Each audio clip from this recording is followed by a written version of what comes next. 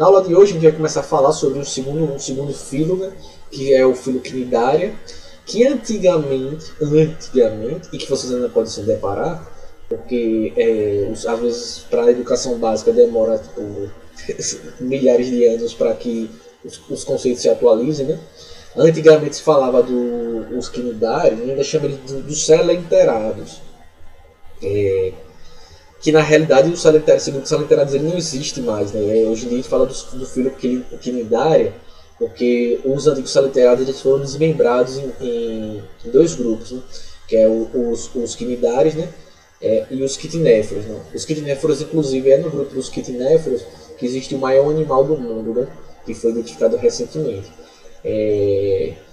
Aí, como o, o, na educação básica geralmente a gente não estuda os quitinéforos, aí eles falam de salenterados porque jogam quitinéforo dentro. Mas hoje em dia é, a gente é separado e a gente estuda, o que a gente estuda mesmo é o filo dos quinidários. É, certo? Que os quinidários é o grupo que reúne a água viva, a caravela, a anêmona do mar, o, o coral, então, o filo quinidária é que vai ter todos os representantes aí, bonitões aqui, as, a vespa do mar, a água viva, a anêmona do mar, a caravela, a hidra e aqui onde eu estou na minha cabeça o coral, né? que formam os recifes de corais. Então, esses organismos aqui bonitões são organismos que pertencem ao filo quinidária, né? É, tendo uma variedade distinta é, dentro dessa Dentro desse estilo, uma variedade distinta de organismos. É, então, o filo quinidária, né, ele reúne esses organismos todos aí, que a gente chama dos quinidários, né, que são animais que são aquáticos, exclusivamente aquáticos. Né, é, o que caracteriza eles é um corpo mole e gelatinoso, é, é, com exceção do, daqui do, do coral, né, mas quando eu falo da classificação, né, e falar do, deles aqui, eles têm essa diferençazinha dessa carapaça é, formada por substância que ele fica mais duro, né? mais calcificado. Mas por dentro, mesmo assim, ele tem essa mesma estrutura, né? que é esse corpo mole gelatinoso. Né? É, que são, e são todos eles exclusiva, exclusivamente aquáticos. Certo? Então a gente tem que acreditar que tem pouco mais que 11 mil de espécies de quinidários. Né? A maioria delas é marinha é, e, e, tem muitas poucas espécies que são lucícolas, né? ou seja, que vivem em ambiente de água doce, é, que vivem em lagos, rios, né? e, e locais de água doce, né, principalmente. Mas a grande maioria, é, assim como dos poríferos, é, são organismos de ambiente marinho, ou seja, de água salgada, salobra. Né? Os quinidários, o caracterizado deles, é, eles são conhecidos por causar aquelas queimaduras. Né? Quem nunca na praia, com água viva, se enrolou e pegou uma queimadurazinha de água viva na perna. É, eles são conhecidos por causar essas, essas queimaduras e irritações na pele, né? que às vezes a pessoa pode ter muita dor, às vezes as pessoas podem ter reações alérgicas, variando de espécie para espécie. A pessoa pode até parar no hospital, vomitar, ter febre. Tem alguns casos de uns quinidários muito potentes aí, lá pro lado da Austrália, estão os bichos mais, mais é, violentos para matar as pessoas, né, que tem alguns que podem até levar até a morte da pessoa. Né. É, é, essa essa característica inclusive que dá nome a, a ao, ao filo, né, é de causa de uma substância que vai estar presente nesses tentáculos, nesses fios, né, é, que, que, é esse tipo de célula que a gente chama do, é, que, é, do quino, quino, que, que, quinidoblasto. Né? É, então, esse, essas substâncias e, elas vão estar presentes nas, nessas células que formam os, o, os quinidoblastos, né, que vão estar nesses tentáculos do, é, nos tentáculos do, desses organismos, né, nesses fiozinhos que estão aí. Né? Então, é, esse é, quinidoblasto, né, ele significa ortiga, né? É, ela vem do grego. E é o termo, o termo quinidário, justamente, ele vai se referir às propriedades urticantes dessas células, dos quinidoblastos, né? É, tem alguns autores também que chamar de quinidócitos, certo? Então você já ouviu falar de quinidócitos ou quinidoblastos, ele está se referindo a essas células que produzem essa substância urticante que causa essa sensação de queimação, de ardência, que é característica dos quinidários, certo? Aí vai variar de espécie para espécie. Tem algumas que podem causar paralisia, né? Inclusive na alimentação eles podem paralisar suas presas e se alimentar. Né? É, os, os, os quinidários são animais mais antigos né? É, da escala zoológica a, a, apresentar o que a gente chama da cavidade corporal, ou seja, uma cavidade interna, uma cavidade é, gastrovascular, onde ocorre parte da digestão do alimento. Né? Então, é, é, a, professor, mas não tinha lá o ácido dos poríferos, mas lembre que o ácido dos poríferos ele não era uma cavidade é, corporal no sentido de fazer a digestão. A digestão dos poríferos era uma digestão intracelular, exclusivamente intracelular. Nos quinidários, né, eles já vão ter uma cavidade gastrovascular interna que vai atuar em parte da digestão é, dos alimentos. Né? É, foi exatamente nessa presença dessa cavidade é, que inspirou também é, um, um, um, dos nomes dos filhos, né? que também chamam, eles podem chamar de é, colenterada, né? que vem dessa cavidade interna. Mas não existe não, gente, só por curiosidade, certo? Esqueça isso, para não confundir vocês, certo?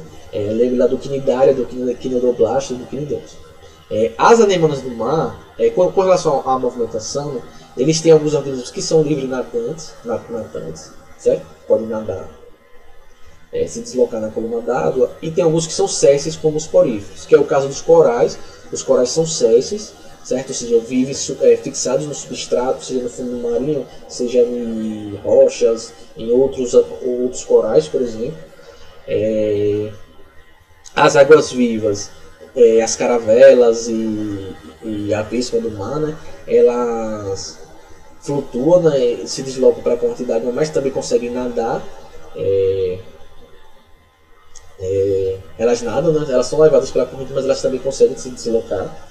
É, e alguns poucos que lideram são parasitas né, de externos, aí tem parasitas de alguns peixes, eles se prendem nos peixes e parasitam os peixes. É, alguns autores eles colocam a Nemo do mar, que é essa de cima, a casa lá do Nemo, do filho do, do, pai do Nemo, é, que também se consideraram sexys, mas algumas anêmonas elas conseguem fazer um movimento de cambalhota, né? elas vão dando cambalhota e vão rolando no fundo marinho.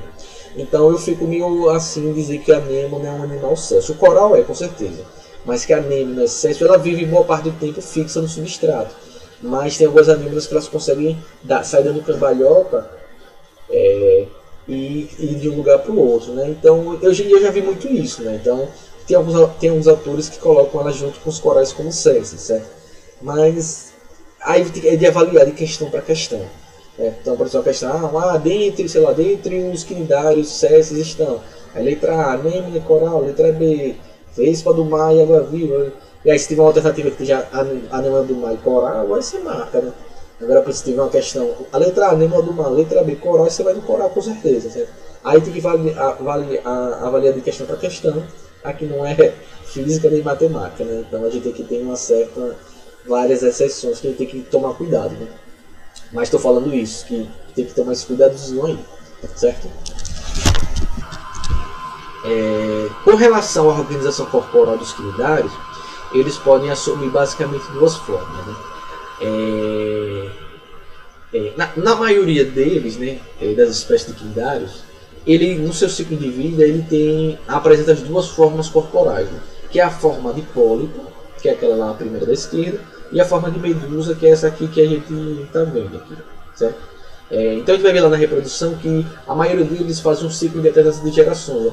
Uma parte da vida está no, no, na estrutura no formato de pólipo e parte da vida ela está na estrutura de medusa. Que esse aqui, a medusa é da água viva, da vispa do mar, da caravela, e o pólipo é a estrutura da, dos, do, do coral, da anêmona. Né? É, basic, é basicamente o pólipo é a medusa invertida. É basicamente isso. Mas as estruturas deles são as mesmas. Ele só, o, o, a medusa ela, ela é livre nadante, né? ela está se deslocando na água, e o pólipo geralmente ele está fixado no substrato. Né?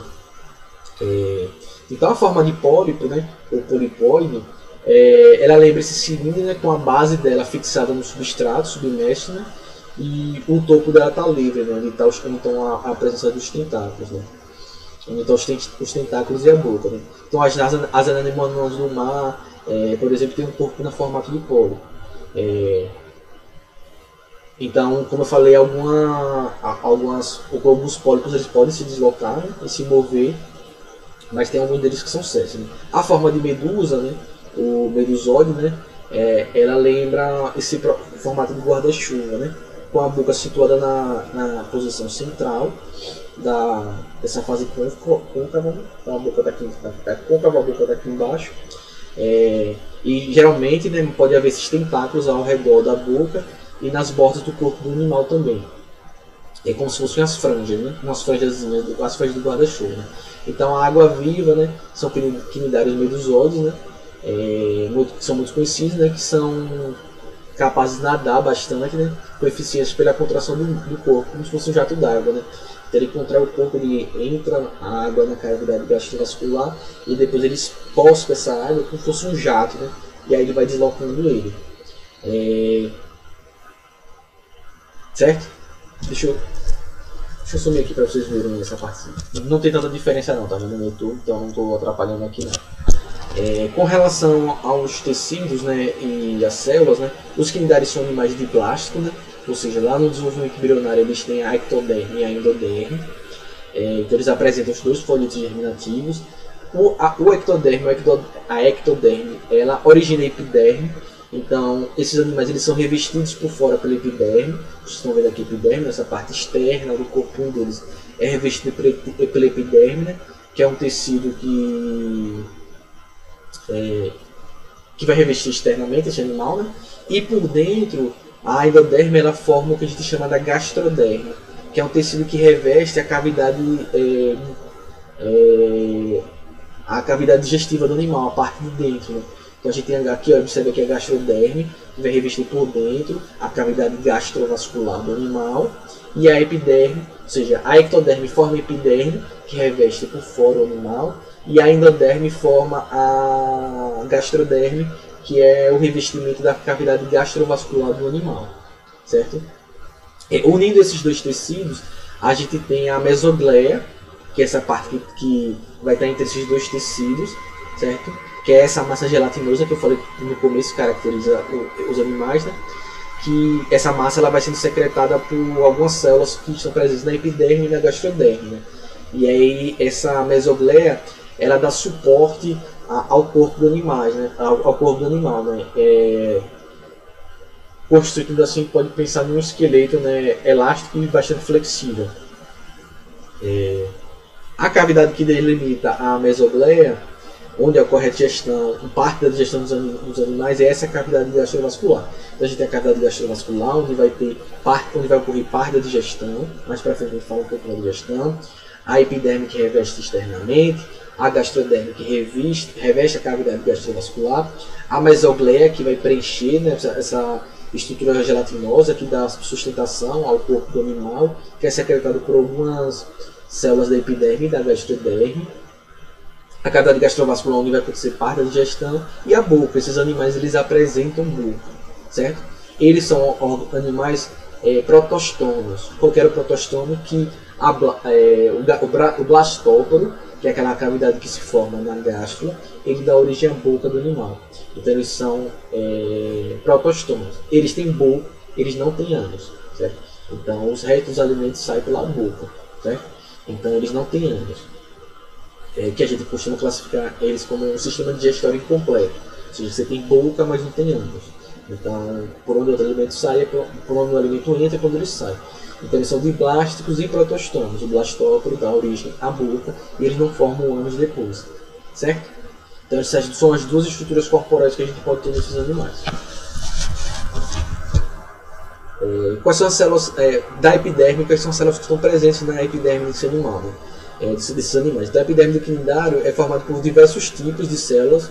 Acho que as principais são as células é, mioepiteliais epidérmicas, que é esse, essas verdezinhas aqui, que estão escritas aqui, são as células mioepiteliais, ficou meio clarinho, filho. É, tô achando que ficou meio clarinho. São as células mioepiteliais é, epidérmicas, são essas verdes aqui, tá bem aqui.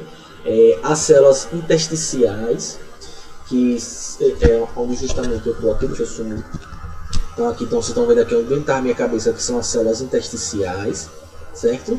Temos as células sensoriais também. E temos os quinidoblastos que eu falei para vocês. Certo? Então essas são as principais células que a gente vai ter. As células é, mioepiteliais é, é, é, epidérmicas, as células intersticiais, que era que eu estava, as células sensoriais e os quinidoblastos. São as células principais é, que, a gente, que vocês precisam saber aqui das células da epiderme. As células mioepiteliais elas têm esse formato cúbico, como vocês podem ver aí, e elas, além de servir de revestimento, elas possibilitam a contração do corpo do seu animal. Daí esse termo, né, mioepitelial, porque ela reveste, esse mio viria do, do músculo, né? miocárdio é o músculo do, do, do, nosso coração. Então, na hidra, por exemplo, essas células ela apresentam fibras contrácteis, né, que orientam no, no sentido do comprimento do animal que quando as, as hidras elas fazem esse movimento de. É, onde a gente vê as hidras, né, certo? Na classificação, elas encolhem e esticam.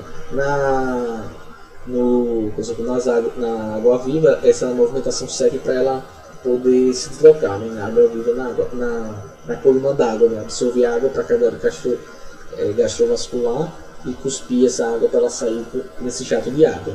As células, então essas são as células microeliais que revestem e vão fazer esse processo de contração para a movimentação do animal. As células intersticiais, que são essas aqui que eu estava em cima, são, elas são bem pequenininhas, praticamente dá para ver no esqueminha, esses pontinhos bem pequenininhos, e se localizam na base dessas células microeliais. Né? Então, por serem células potentes, ou seja, elas podem se, são capazes de originar é, os diversos tipos de células no quinidário. Né? Então, elas, é, as células intersticiais elas vão participar justamente por essa capacidade de virar outros tipos de células, elas vão participar nos processos de crescimento e nos processos de regeneração. Então, uma célula perdida, essas células elas vão lá e substituem a célula perdida. Então, por exemplo, uma célula mioepitelial é, epidérmica é perdida, as células intersticiais elas vão lá e vão substituir essa célula, certo? A partir desses processos regenerativos. As células sensoriais são células que são capazes de perceber os estímulos ambientais. Então, os candidatos já têm células que são capazes de perceber estímulos ambientais né? e transmitir às células nervosas que estão presentes na mesogleia. Mais na frente eu falo sobre a, o sistema nervoso desses animais. Então, ele já tem células nervosas no, nesse animal que estão presentes na mesogleia que vão coordenar é, esses animais. Né?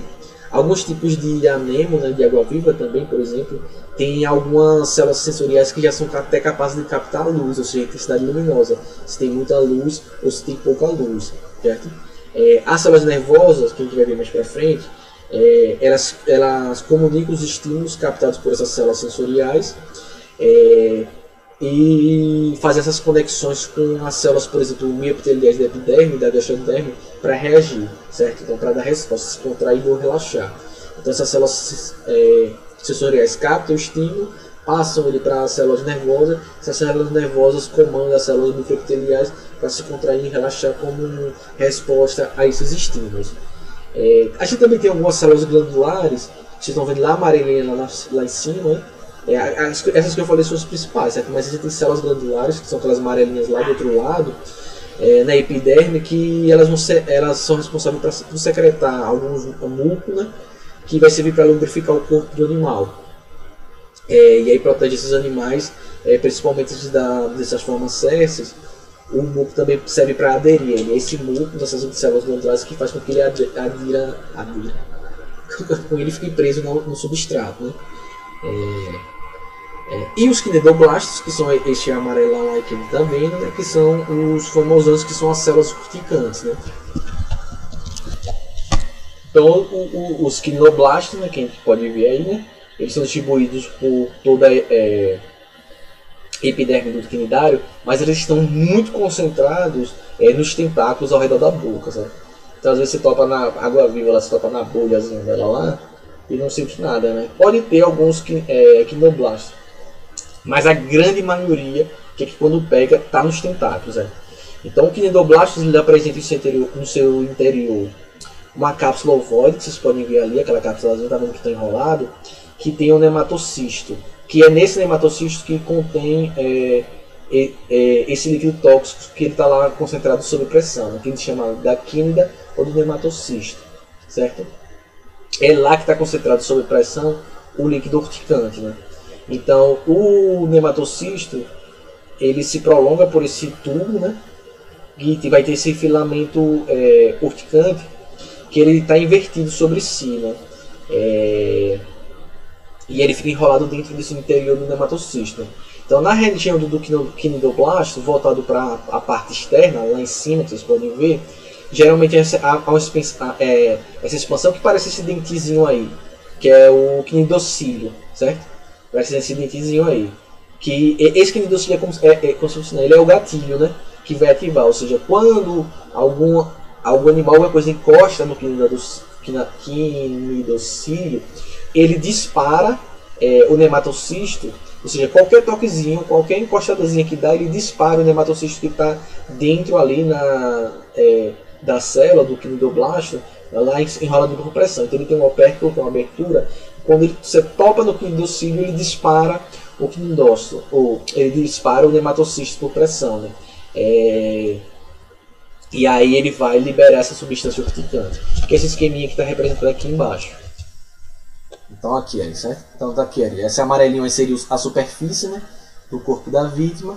Quando o quinidocílio ele encosta nessa superfície, né, o nematocisto ele vai ser um processo, é, deve ser um processo de explosão, né, é, e ele everte esse o nematocisto, esse filamento ele é liberado e o nematocisto ele é descarregado e essas substâncias urticantes são liberadas. Alguns é, quinidoblastos, inclusive, tem uns espinhos também que adentram na, na pele do organismo e ele libera essa substância tóxica alguns organismos menores podem, além dessa sensação de ardência, né, ele pode paralisar o animal.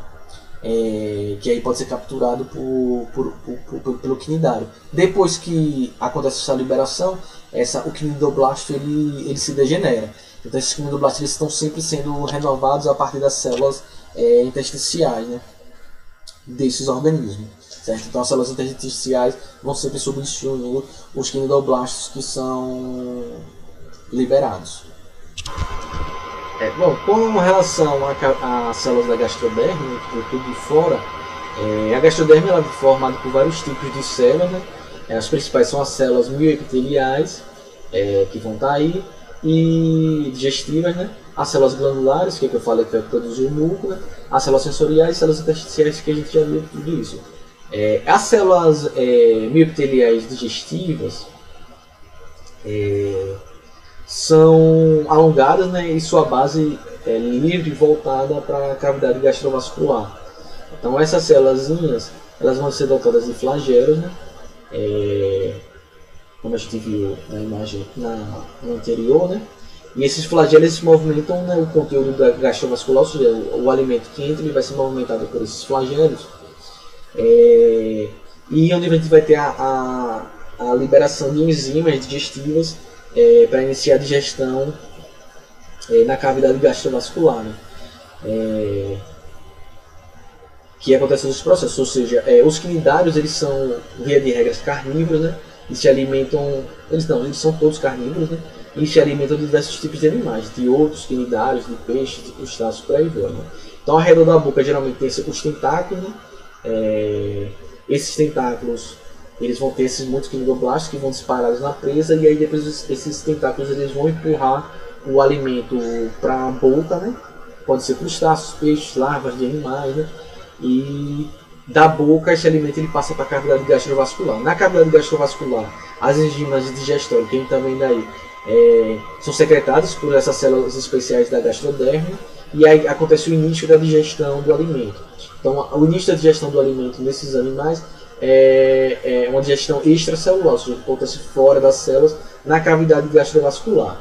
Então, essas partículas de alimento que foram parcialmente digeridas, elas vão sendo englobadas pelas células microepiteliais digestivas, né, que, é que ficam aí na gastroderme, é, e é onde acontece a o fim da, da, da digestão, a digestão se completa. Então, nesses animais, parte da digestão é extracelular, acontece na cavidade é, gastrovascular, e parte da digestão intracelular. Então, nos poríferos a gente só tem digestão intracelular, nos quinidérios a gente tem digestão extracelular na cavidade gastrovascular, e a gente tem digestão também intracelular. Né? É, então, os produtos dessa digestão vão sendo distribuídos pelas células do corpo no processo de de fusão, certo? Então a célula vai passando para outra, não tem necessariamente é, uma, um sistema de transporte? Ou seja, um sistema de circulação. é, nesses animais. A cavidade gastrovascular, aquele alimento que não foi digerido, ele sai pela boca mesmo. Por isso que a gente diz que esses animais eles são animais é, de um sistema digestório incompleto, porque só tem a boca e não tem. Certo? É, é, apesar de serem carnívoros, né, tem, algum, tem muitos quinidários que eles vivem em associa, associação mutualista com algas né, unicelulares, que são fotossintetizantes e que produzem nutrientes que são aproveitados pelo animal. Né? Então, alguns desses. É, a Hidra, por exemplo, faz essas, essas combinações com os ocloretas, né? essa endossimbiose que a gente viu lá atrás nas algas. E a gente também tem alguns casos de algas, né? principalmente nos flagelados, que são as zooxanteras que também se combinam com os corais, né? que geralmente dão as cores aos corais. Né? Com relação à coordenação nervosa nos coordenação nervosa quinidários, a gente tem uma, uma série de células né, que são capazes pelos movimentos, né, que eu falei das micro, é, as células mioepiteliais, e quem coordena esses movimentos nos quinidários é uma série de, de, Eles não formam nenhum órgão sistema nervoso, mas eles têm uma série de células nervosas que vão processando os estímulos recebidos que vão coordenando os movimentos. Né? Então a gente disse que o sistema nervoso dos quinidários é um sistema nervoso do tipo difuso, certo? Eles têm células nervosas de forma difusa espalhada que coordenam e dão resposta aos estímulos externos. É, com relação à classificação dos quinidários, a gente vai ter a classificação principalmente esses, é, esses três grupos aqui, que são os hidrozoários, né? do, do, da, das hidrozoas, né, que, é, que é o predomínio de formas polipóides, é, mais que é o caso da hidra, que é aquele pequenininho amarelinho lá, mas também tem formas coloniais, que é o caso das caraveras, das é, é, e caraveras. Ou seja, na hidrozoa a gente tem o predomínio da, do formato de polipóides, mas tem formatos é, de medusa, que são colônias, a caravela. A caravela é uma colônia, ou seja, ela é formada por vários organismos. Então os tentáculos é um organismo, aquela bolsa da, é, mesoglea, outro indivíduo, ou seja, são, são vários indivíduos formando essa estrutura de caravela. Os sifozoários, a gente tem a forma predominante da o predomínio das medusas, né? Os sifozoários é, é o que a gente chama da, da água viva, né?